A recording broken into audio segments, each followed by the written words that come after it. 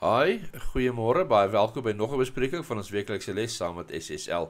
Ons is by ons 4de kwartaal en ons kyk hierdie kwartaal na die dood om te sterf en ons toekomshoop.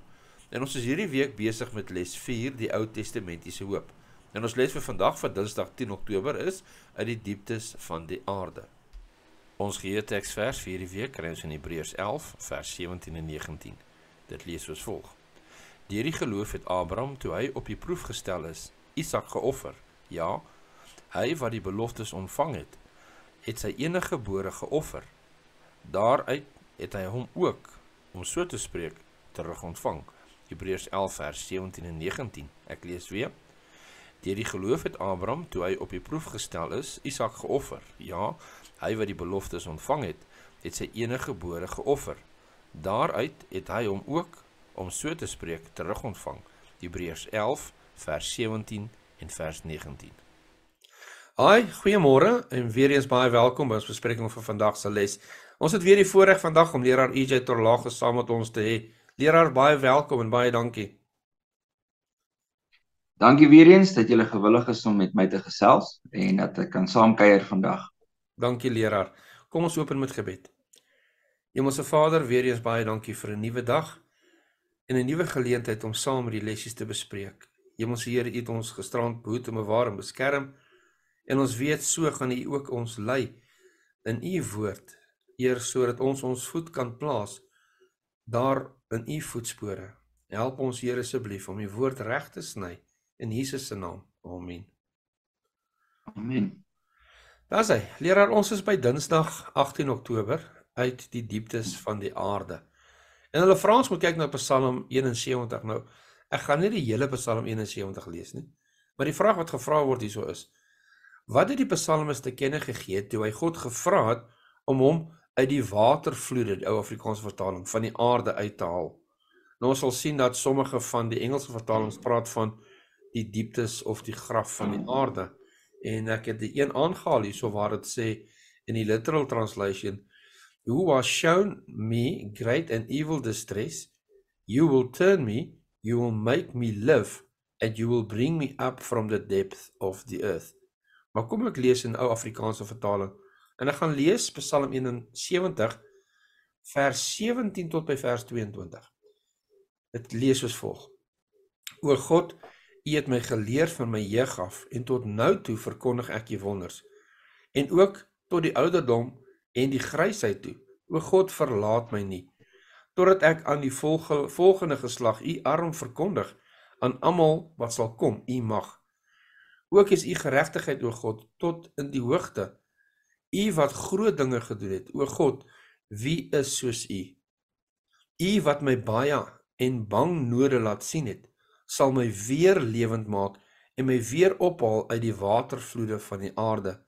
Vermeerder my grootheid en wend u om en troos my so wil ek u dan ook loof met die instrument van die harp. U trou my God. Ek wil psalms sing tot eer op siter, o heilige van Israel. Nou die klem hierso lê op daai vers 20. U wat my baie en bange node laat sien het, sal my weer lewend maak en my weer ophaal uit die watervloede van die aarde.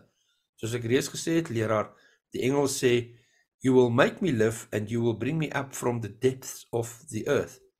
So die vraag weer eens wat hier gevra word, wat het die psalmis te kenne gegee toe hy God gevra het om hom uit die watervloede van die aarde uit te haal?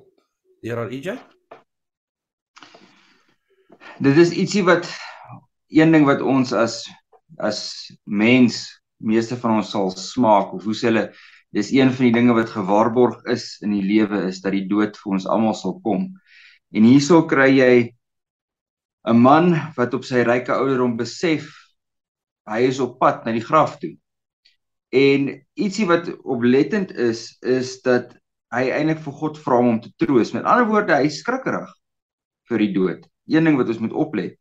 En, nog 'n ding is dat hy vir God vra om te troos. So al weet hy en hy glo dat hy nog steeds gaan opgewek word. Hy glo volkome dat God hom sal opwek en hy sê vir hom hy gaan hom uit die watervloede van die aarde uithaal. uithaal hy het nog steeds 'n bietjie van 'n benoudheid oor hom en hy vra vir God om hom te troos daardeur. En hy sê basies Hy weet waantoe hy op pad is, maar hy weet ook hoe God hom daaruit gaan help en dat God hom sal laat seëvier op die ou einde van die dag. Dis weer eens ietsie van het ek daardie rus of daai vrede in my lewe. Al vrees ek dalk die dood 'n bietjie, vir ons almal vrees, maar as eerlik is, vrees ons die manier hoe ons dalk gaan. Ehm um, kan ons nog steeds die die tevredenheid of die die geloof hê in ons lewens van al gaan ek deur daai aspek in my lewe, my vertroue is nog steeds in die Here, van ek weet hy sal my opwek op die ou en van die dag en dit is wat die psalme skryf vir ons daarso vandag. Amen. Amen. Die tweede laaste paragraaf sê so die uitdrukking uit die watervloede van die aarde kan letterlik verstaan word as 'n sinspeling op die toekomstige fisiese opstanding van die psalmes. Hmm. En dis waar se hoop in was. En soos wat leraars sê, dis waarin ons hoop ook moet wees. Ek wil graag ook hierdie laaste paragraafie lees wat vir my so mooi is. Dit sê wat op die ou einde belangrik is om te begryp is dat wat ons situasie ook al mag wees, God is daar. Hy gee om. En uiteindelik word ons hoop nie in hierdie lewe gevind nie, maar in die toekomstige lewe, die ewige lewe wat ons in Jesus het na ons opstanding wanneer hy terugkom. So hmm. ehm um, dit is waarin ons hoop moet lê is in God se getrouheid en en en die opstandingsmôre.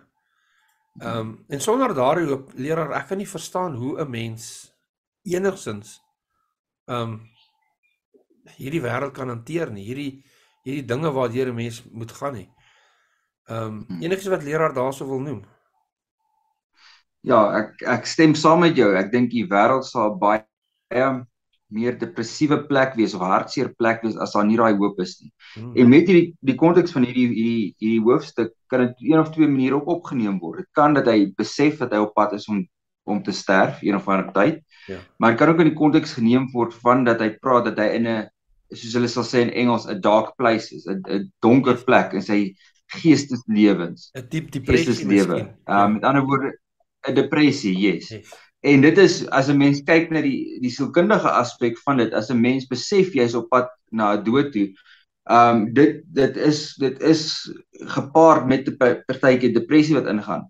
Um mans wat min of meer jou ouderdom is, David sal weet jy gaan deur 'n midlife crisis een of ander tyd. Um dis hoekom jy jou hare grys gekleur het, al daai lieflike dinge. En uh So jy gaan deur verskillende tye in jou lewe wat jy dinge wil verander, jy probeer weer jou jeug kry en dit eindig op met dat jy in 'n depressie is. Maar een ding wat 'n mens moet besef, al is jy in 'n depressie, God verlaat jou nie. Dit voel dalk soos of hy jou verlaat. Hmm. Jy voel jy het daai dalk daai vraag van waar is God? Waar help hy my? Ja. Maar om te weet, die weet dit wat ietsie wat die psalmis hierso skryf is, hy is dalk in daai donker plek, maar hy weet nog steeds God gaan hom uit hierdie plek uithaal. En dit is ietsie wat vir my eh, boekdele spreek van die persoon se geloof. Al sien jy nie God nou nie, om te weet hy's nog steeds met jou, dit is wat geloof is. En hy sit hierso in die situasie. Sy dood is uh, een van die dae. Hy sit met 'n depressie, hy sit met moeilike omstandighede, maar sy vertroue is nog steeds in God om hom deur te dra. En dit is vir enige iemand wat hierdie probleem ervaar in die lewe, besef en bly getrou en maak 'n uh, 'n punt daarvan om God se belofte staat te maak dat God jou sal deurdra deur die slegte tye. Amen. Die Here het nou mooi die laaste vraag ook beantwoord. Dit lees ons almal het al verskillende tye van teleurstelling ondervind. Hoe kan jy deur op die maniere hoe die Here jou in die verlede gehelp het te fokus in geloof en vertroue voortbeweeg in oomblikke wanneer dit lyk asof hy ver van jou af is? En dit is so waar. Ehm um, die Here uh uh uh stap 'n pad met 'n mens. En die Here wil jou nie net los dat jy net moet glo sonder enige bewyse nie. Dis nie hoe God werk nie. God gee vir ons bewyse in ons lewens en ons kan soos ek nou die dag gesê het ook, ons kan terugkyk en sien maar God is getrou. Leraar baie baie dankie vir leraar se bydrae by ons les vandag. Sal leraar vir ons afsluit met gebed? Natuurlik. Kom ons sluit ons oë saam. Liewer Ons wil weer eens net sê dankie. Dat U 'n persoonlike God is dat al voel dit asof dinge te swaar en te moeilik raak om ons weet ons dat God sterk aan ons sy staan. Dat U ons nooit verlaat nie. Dat U daar altyd daar is om ons nuwe krag te gee 'n nuwe wind in ons seile. Nie weer help ons ook om net baie keer te sit aan die einde van die dag en terug te kyk om te sien hoe U ons geseën het en gedra het deur die dag. Ek vra dat U naby ons elkeen sal wees. Wees naby elkeen wat dalk in 'n moeilike plek is in hulle lewens vandag. Mag U by hulle wees en mag U Uself aan hulle toon vandag. Is my gebed in Jesus naam alleen. Amen. Amen. Baie dankie leraar dat leraar saam met ons die les bespreek het.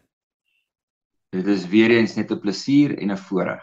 Dankie leraar. Baie dankie vir elkeen wat ingeskakel het. Mag julle 'n geseënde dag hê. Tot volgende keer. God se ryke seën.